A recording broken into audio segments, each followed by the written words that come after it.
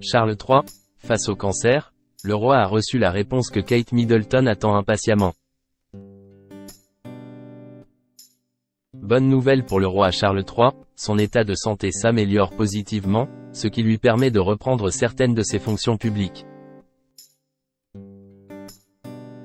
Alors que Kate Middleton ne pourra pas reprendre ses fonctions d'ici l'automne prochain, le roi Charles III, quant à lui, se rétablit doucement mais sûrement.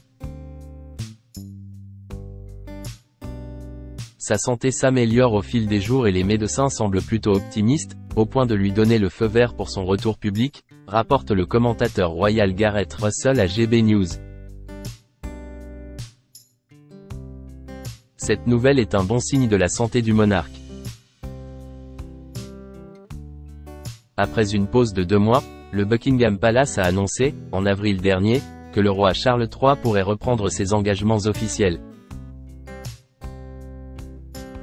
Ce samedi 15 juin, le père du prince William pourra également assister au Trooping the Color et ainsi célébrer son anniversaire officiel.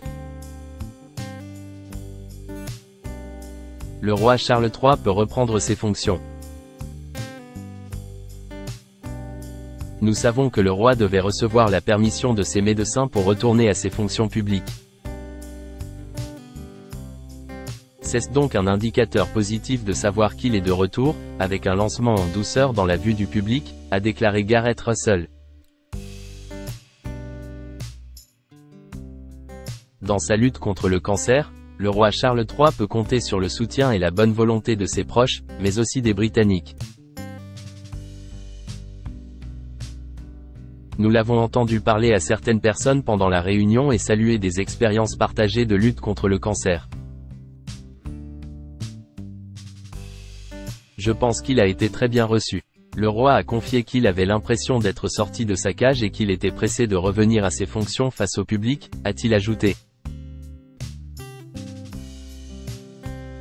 Une visite DETAT pour le roi Charles III et la reine Camilla. En plus du Trooping the Color, le mois de juin sera également marqué par une visite d'État au Royaume-Uni.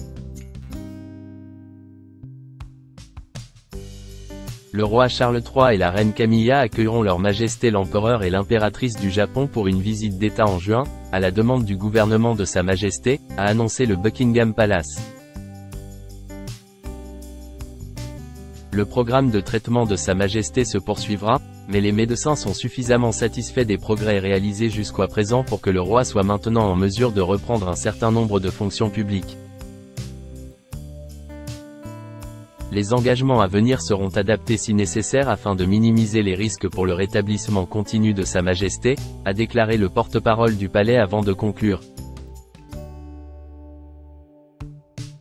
Il est trop tôt pour le dire, mais l'équipe médicale de Sa Majesté est très encouragée par les progrès réalisés jusqu'à présent et reste positive au sujet du rétablissement continu du roi.